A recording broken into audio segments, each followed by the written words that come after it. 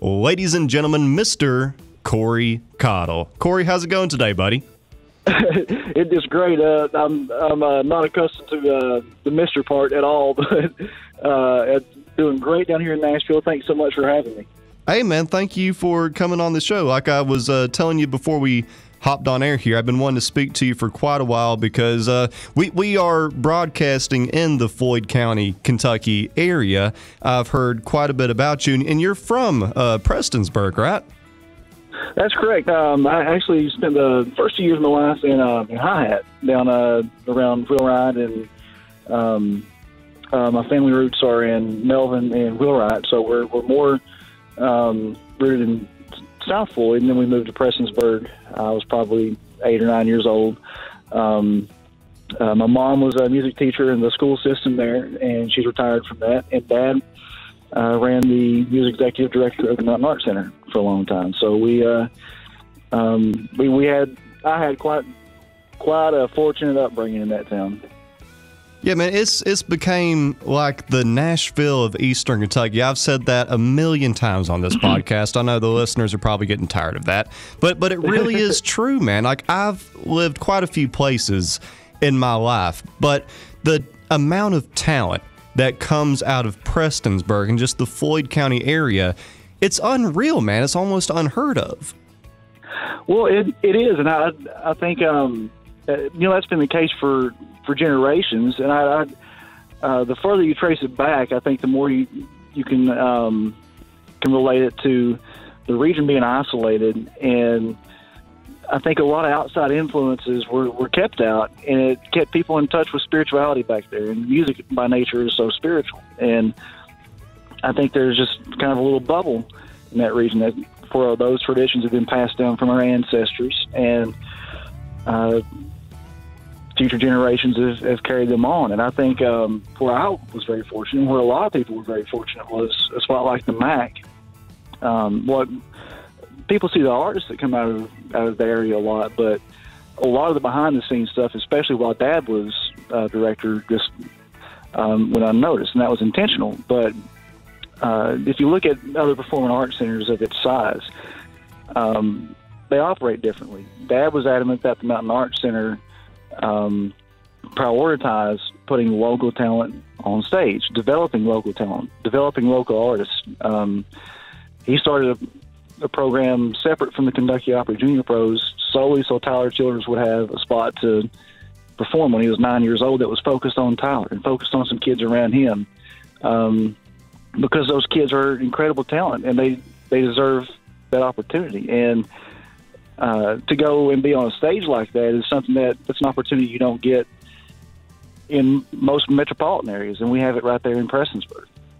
Yeah, it's it's great how the people in Prestonsburg realize that you don't need to bring in these big stars to have real talent in this area. Just talk with some of the local kids and the local musicians and singers, and it's created that music hub that me and you were talking about. But uh, speaking about your dad, the very first time that I seen you play, my buddy Steve Russo uh, posted a pic, uh, video of you and your dad doing jingle bells at one oh, of your shows a few years ago.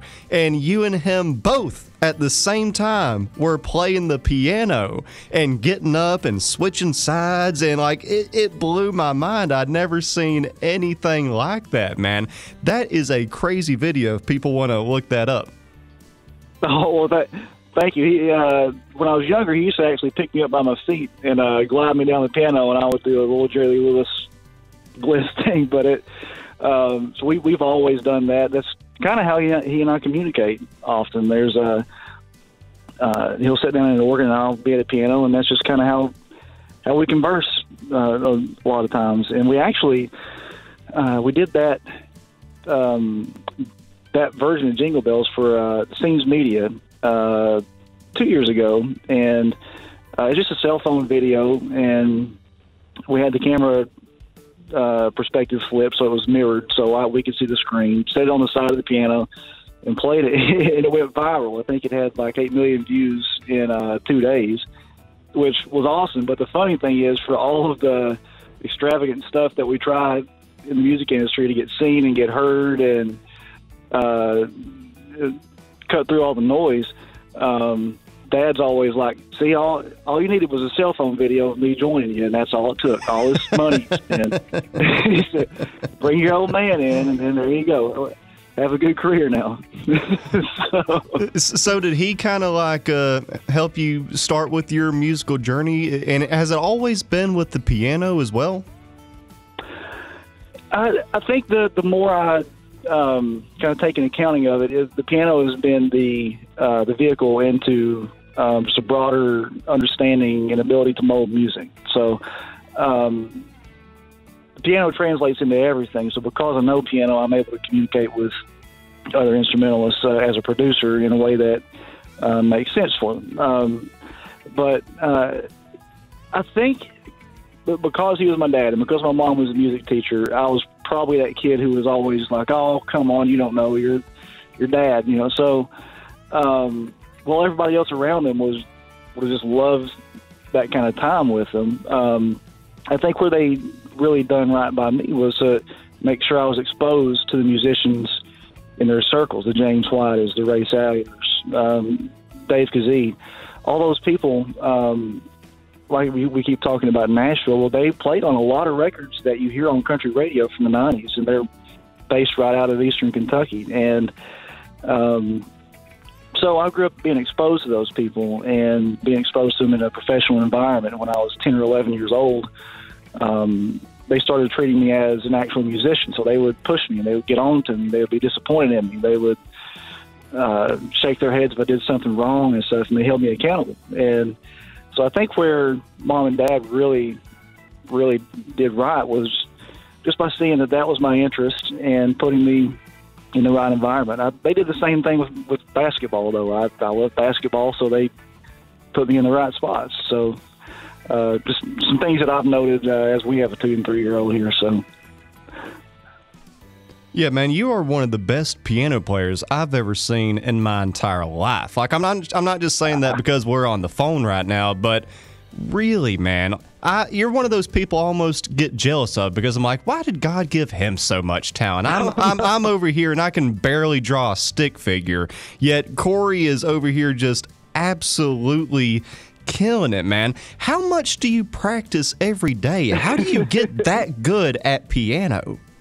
Well, I'm very, very. Thank you so much for saying so. I, I, I really appreciate it. And I, um, I do always um, uh, say a prayer about how thankful I am for for the stuff that I've been given. But I think most of what I've been given has been the people around me. Um, I do have some natural things that are just uh, hereditary. I've got perfect pitch. So, for example, I could uh, transcribe our conversation to music notes because I hear the pitch in on, and if the car door dings, I'll say, "Oh, hey, that's an A flat," that kind of. And that's that's nice and that's really convenient and helpful. But um, I think for the most part, I was given just the resources around me, and that motivated me to practice a lot. So when I was, uh, gosh, from grade school on up, I would stay up well past bedtime, two and three in the morning, uh, clacking on the piano. Did all through college. I would hide in the um, uh, in the janitor's closets of the uh, piano room, so that when they shut the music building down, uh, they would lock everything else, and I would just lock myself in, so I couldn't get out until seven in the morning, or else I would set an alarm for the entire school.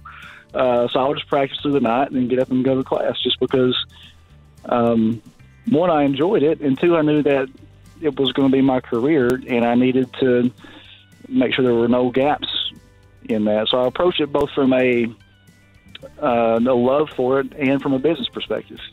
And I think when you when you do that, especially when you put the the business into it, and now as I've gotten older, the more that other people around me are uh, dependent on my success, the more my family is dependent on that. That's even more motivating to uh, uh, to practice. And with social media giving you access to all the good musicians out there right now, I see people on a daily basis that just scare the crap out of me because they're so good. Um, so I try to make a point to if I see somebody doing something that's not in my musical vocabulary or not in my fingers, uh, if I'm able to, I'll stop what I'm doing and try to go go at it because if you're not doing it, somebody else is.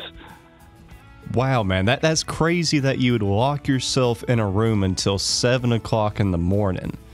And that shows, you know, if you want to make a real career out of this, you got to take it that serious. There's a big difference in between making this a hobby and an actual profession and an actual job.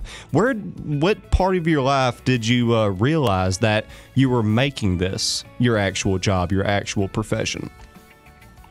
I I went to the Governor's School for the Arts when I was 17, the summer before my senior year of high school, and that was at a time uh, before social media kind of made the world a smaller place. So um, for me, I was as intimidated as it gets because kids from Lexington, kids from Louisville, I just assumed that, man, if everybody back where I'm from is so good at music, I can't imagine what the kids up there where, you know, these cities are like. There's no way I'll be able to keep up because I can't keep up with people down here.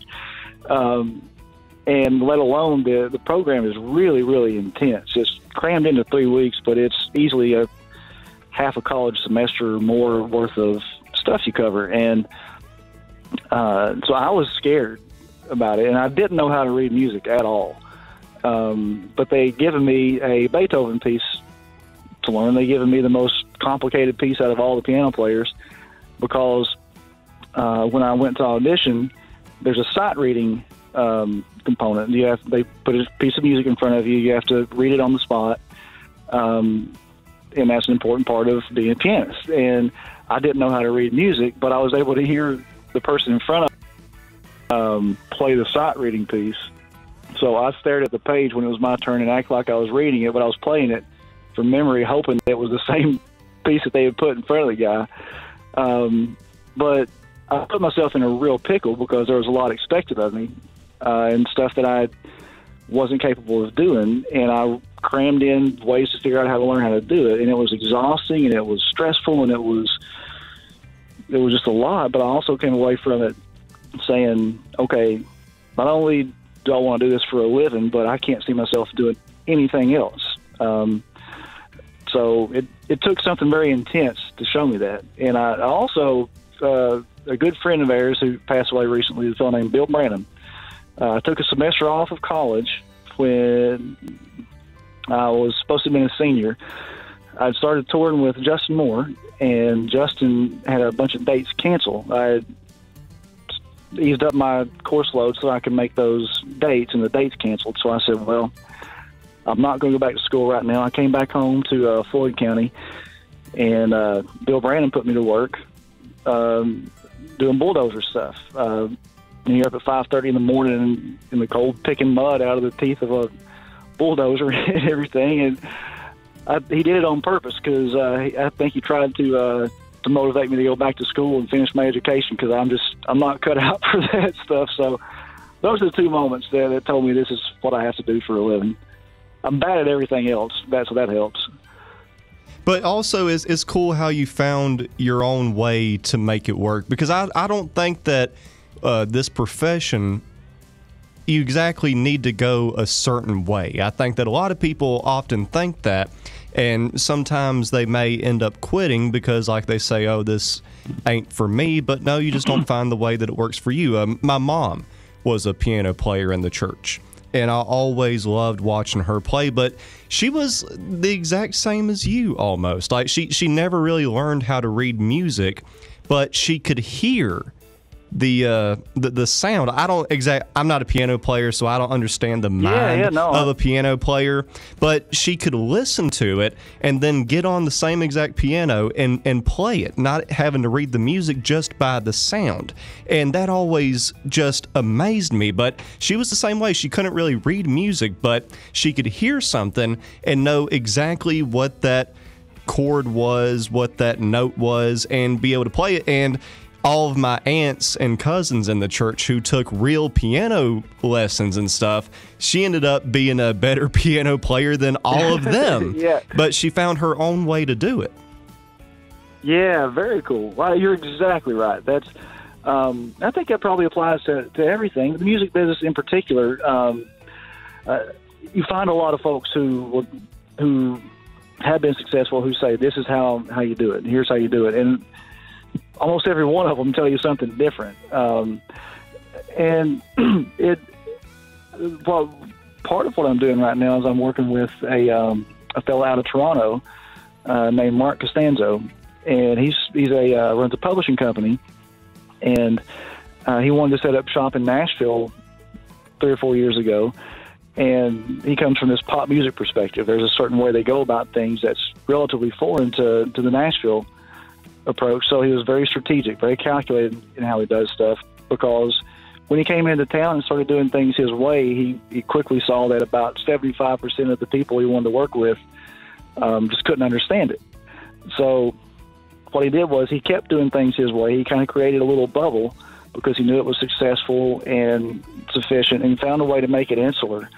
Um, but he brought in some people from Nashville, Craig Campbell and myself, for example, to um, to kind of be the the face of the company and to let things operate the way he does them, uh, but let them communicate in a Nashville way. And it's very unorthodox. Our attorneys hate us, and um, a lot of times we'll be producing stuff for other artists, and they'll say, "Why? Why are we doing that?" But it always turns out the right way, and it's very far from anything that I, I was taught in school. So, to your point, with your mom and with all of that, I, I think you're very right. Yeah, I was going to ask you about uh, you playing with Justin Moore. I was reading how you uh, played with him for 13 years. I'm, I'm a fan of that guy's music. I've always enjoyed it. How did that partnership come about? Oh man, he, he's great, and I his um his last album is one of my favorite albums that's, that's come out in a long time. Um, I was playing at the Tin Roof uh, when I was at Belmont, and he had just signed a record deal, and he was looking to um, uh, hire a guitar player. So they called the School of Music, and they sent him out to watch a guy that I'm really good friends with named Matt Revere. Um, and he met me on accident. He already had a keyboard player, but he talked to me, and um, he offered the gig to Matt and I. Um, Matt chose to finish school, and he, he's doing great now. I think he plays for Carrie Underwood. But um, I was just like, wait a second, you're going on tour with Skynyrd? I'm in. I don't. I didn't even think about anything else going on. Let's just go. Uh, he said, well, "Do you know any guitar players?" And I said, "I know the best of the best of the best." Uh, so I called Roger Coleman, uh, Pike County native. Um, uh, at the time, he was substitute teaching, um, which, if you know Roger, that's hilarious. And because uh, he, he is, he, that guy is just born born to rock, um, and he's not an academic type at all. And so he he just said, they're going on tour with Skynyrd, huh? Well, yeah, I'll do it. and uh, 13 years later, it's it's a it's an enterprise for for Justin Rogers still out there. He's band leader. and They're they're doing great. So it it it was it was quite a trip. I've been really enjoying your uh, solo stuff as well, though. What made you want to, uh, you know, take on a career as a solo artist? Well, th- thanks for saying so, and I appreciate you asking. Um, I, to me, it was never a one or the other. I just um, I kind of needed a lot to feel um, musically fed. So I um, had I done my solo career first, I would have missed being able to tour and do country music with people and play with a band and be in the pocket and just play that role. Um, and but I did the country thing first, and I always wanted to have more ways to uh, some let some music that was kind of stirring inside of me um, come out. So I found myself somewhat limited in what I could could do in a country music setting, and um, I started finding ways that some of the compositions I was making could intersect with uh, larger audiences, and I could do it in a way that made smart career sense. It was still a really, really big risk, still is. Um, but I, I just kind of felt like I'd hit the limit of how I could affect people um, in, as a country touring musician, and I felt like I got to a point where I had a lot to offer um, listeners outside of that genre and with stuff music that I'm in a little bit more uh, control of. So it, that kind of led to few business decisions, creating some relationships, and built. I built it for about five or six years, uh, before I, I made the leap, and um, everybody I was working with was extremely supportive and generous. Justin was really supportive, um, and it, it was. It's been a really, really blessed transition. I've been really enjoying uh, watching and listening to the Concerts for the Human Family series. That is a beautiful church that y'all filmed those in. And I was uh, reading a little bit into that, and I was saying where you write and produce that entire series. And man, that has to be a lot of work, but you are absolutely killing it. Well, thank you. That is uh, the the highlight of my career so far has been the chance to work with um, those people during this time. And uh, you know, I didn't grow up in the Episcopal Church. I uh, we started Pentecostal. We were about a step shy of snake handling, but um, same here, man. same here. so, uh, but they they came to me because I my manager at the time I had worked with Yanni and he had done uh, some recent concerts at the Pyramids and at the Forbidden City in China and uh, the Episcopal Church folks were looking at some of this, these spaces they have. Like you probably saw the um, the one at the Philadelphia Cathedral, and there are just these gorgeous buildings, and the buildings themselves are just spiritual in nature, and they were kind of taking into account of just the status of the world and just saying, well, what if we open up these spaces to everybody, people from all religions, all backgrounds, all political perspectives, and we just made a concert that made everybody feel like family again, even if just for an hour, and it inspired people to, to just care for each other a little bit more because it's hard to do that right now via conversation because the temperature's still red hot with all that stuff. So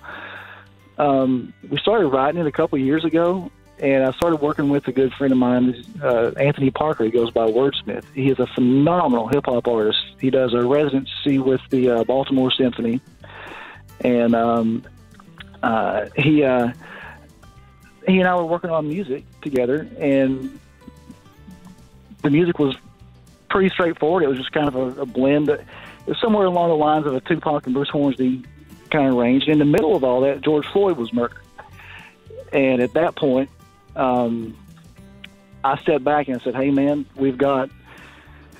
Uh, a good musical platform here.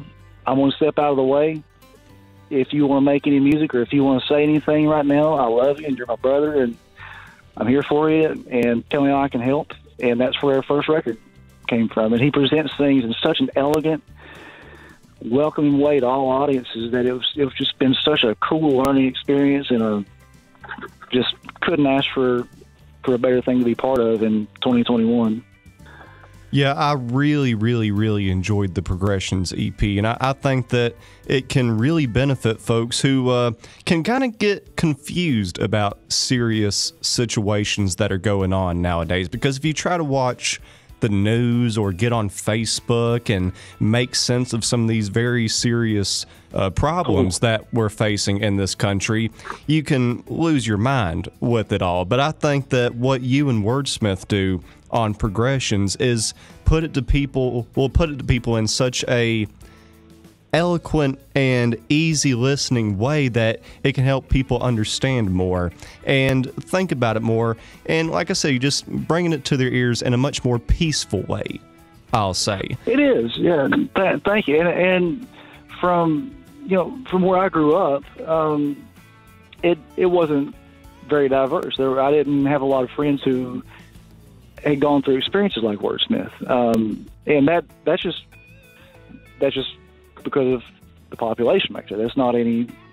Um, most of the people I grew up with looked like me and had gone, had been raised like me, and we were in the same environments. And uh, it was really until he and I started working on stuff um, really in depth that I, we started to learn each other and know each other, and I started to hear about his experiences uh, when I hear some of the things that he's gone through, it removes what you see on the news and it removes all the chatter from politicians and stuff. And you say, wow, this is somebody I love like a brother. And he went through this because of how he looks. And that is not okay. And he handles it in such an understanding and elegant way. And he's firm when he needs to be firm, but he's also open to what everybody um, says and their perceptions of things, and it's all with the goal of making sure his kids and my kids, if they want to make a record together, um, if they're in the middle of it, people don't start saying, "Oh, well, I guess they're just doing that now because one of them's black and one of them's white." No, he and I just love making music together, and because of the of the climate that we're in the thick of, all of a sudden, you know, skin color became relevant. So we were hesitant to even put any music out because we didn't want to come off as if we were trying to capitalize on anything. We were just making music together, and uh, the Episcopal Church was kind enough to say, "Listen, this still needs to be heard. This needs a platform. Um, let's create a chance for everybody from all perspectives to, to talk openly right now and listen to each other and just see where we land." Yeah, I, I really enjoyed uh, Anthony's song there during the concerts for Human Family series, and I also noticed just how good of a hip hop artist that Wordsmith was because whenever y'all are talking about that song afterwards, it's like that guy talks in rhyme. I noticed that. Like he, he was just regularly talking, but it was rhyming. I'm like, dang, that he he's that good. He talks in rhyme. He does. He's incredible, and he and he speaks in a rhythm too, just all over the phone. He's he's got a flow to him that's just innate, and he, he's to give you an idea of how talented he is. He, he turned down two major record deals. Um, I won't name the labels, but he had multi-million dollar offers for them, and he said, "You know what? From looking at this, this would cause me to have to do things and to say things and to be somebody that I don't know that my kids are going to be proud of." Um, I think I can find a path where I can make a good living for myself. I won't be flying on private jets, but I'll be able to pay my bills and make the world around me better. And so here's a guy who had all this stuff dangling in front of him, and instead, he walks the streets of Baltimore every night and gives any bit of food that he's got left to homeless people. He runs a nonprofit. He works with the orchestra. He uh, he's created a um, program for kids to have access to music programs outside of school. Um, just a very, very selfless entertainer, and we need more of it. Yeah, I think that y'all make beautiful music together, man. And speaking about beautiful music, I also love American Hymn too. My, my favorite part of it, of course, is the uh, ending track over the rainbow. I think that you do Oh, a beautiful. you. Version of that song. And I noticed that that was like the uh, only you know cover on that. What made you uh, go with that song? Why is that song so important to you? Well, th- thank you. I, um, I, I've been attached to that song for a while, and for uh, for for whatever folks, however folks choose to interpret uh, scripture or anything spiritual, um, uh, we've always had uh, rainbows be literal signs of peace and love for us at times that there's no way we can pass it off as coincidence. Me being somewhat skeptical by nature, I even look at it and go, "Wow, that was there's a rainbow right there, right now. That was that was gifted." Um, I don't know why us and my family, but it's always been that way. And uh, it, it kind of got capped off when uh, my wife and I had gone through some. Uh, well, we'd gone through a miscarriage, so a few complications in trying to start a family. Um, and she got a positive pregnancy test with her daughter Annalie, and we were both like, "Oh, "Okay, are we excited? How's it going to go again?" And there was a massive double rainbow overarching just our house, or by our house right in the, the center of it. I've got a picture, and it's it's like, okay, that's that's too cool. So I, um, to me, the song and playing it just allows me to show how I'm feeling and to hopefully give somebody else that sense of peace that I that I get from from it in a way that I can't put into words, but I can try and put it into some notes. And you do a great job of that, man. I think that the piano has always been a spiritual instrument. It's, it's one of those where you just you, you have to sit there and listen to it, and it can bring out it brings out so many emotions. It's a really beautiful instrument. No, it, I, I I love it because it there's it's got such a range and um, it allows you to to make it a, an extension of you and your thoughts and your feelings. And you can there's low stuff there's high stuff there's soft things there's loud things there's dissonance. Uh, is pretty much a condensed orchestra. That's why it was made, and uh, so it to me it's less about the playing and it's more about the fact that that instrument is something that just allows us to experience as much music as possible. Well, Kory, thank you so much for your time today, man. And thank you for all the beautiful music as well. With all the craziness going on in the world today, it's so nice to be able to put on one of your albums and just escape all the craziness for a little while and listen to some beautiful music. But for anybody that wants to check out any of it, where do they go to do that? Well, thank you so much for saying so. Thanks for having me. Um, well, it's uh, I do such a bad job at uh, I'm so guilty of making music and recording records and releasing them, but I just I'm too shy to tell people about it. So I appreciate you uh, uh, bringing it to folks' attention and everything. Um, uh, so right now we're actually running a sale on Spotify. You can stream everything for for free.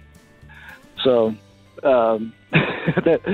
Uh, gosh, my manager hates when I make that joke. But um, so, but any, anywhere you can find music, uh, you can check it out: Spotify, iTunes, Amazon, um, all the spots, YouTube. Uh, it's all up there, and um, we're on socials. Feel free to reach out. I, I love when people get in touch personally, and I've had a lot of people tell me their stories now. some of the re- recent recordings have related to them personally, and I just those kind of things make you keep going. So I'd love to hear from folks and uh, just look forward to keep doing it. I'm looking forward to whatever you do next, man. And, and Kory, thanks again, buddy. Hope you have a great day. You too. Thank you, sir.